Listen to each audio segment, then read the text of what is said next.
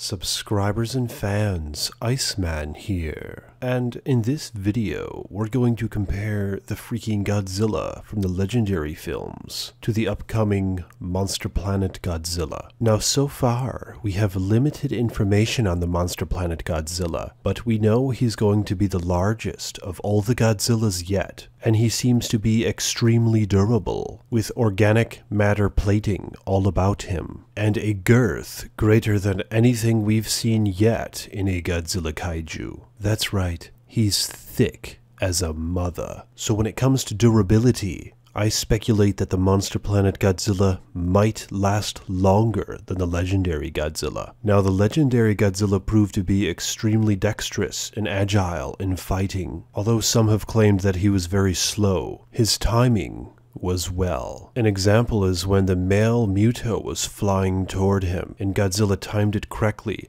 and slapped the shit out of him with his tail, hurling the male Muto against a building killing it. He also went straight for the jugular when attacking the female Muto, so I would say that he was pretty damn smart, right? However, his atomic breath, while powerful, was rather slow comparatively. It oozed out in a rather rapid rate, like magma being shot from a fire hose. The Monster Planet Godzilla however, deemed an extremely fast and powerful atomic breath beam, spinning it like a freaking lightsaber. It was very swift, almost to the speed of light itself, so I'll be curious to see how powerful this atomic breath is. We do see it strike one of the human spaceships in the trailer, and it probably scared the shit out of them but nonetheless, it seems damn powerful. Now, the thing about the Monster Planet Godzilla is that he drove humanity itself off of planet Earth, bringing their civilizations to ashes.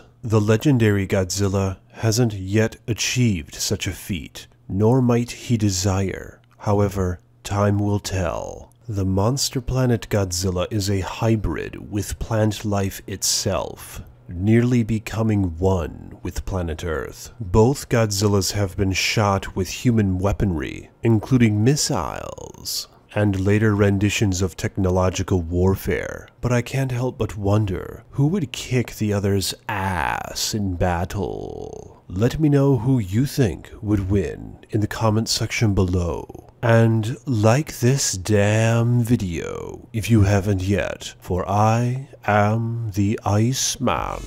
Peace be with you.